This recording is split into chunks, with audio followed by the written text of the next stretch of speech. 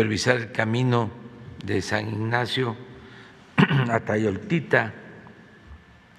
Vamos a estar en la presa Picachos de Coragua porque queremos ver la posibilidad de instalar una o dos turbinas para la generación de energía eléctrica y también eh, supervisar cómo va lo de la construcción del distrito de riego.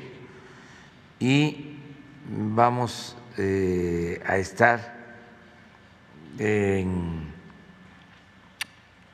la reparación de la carretera de Mazatlán a Culiacán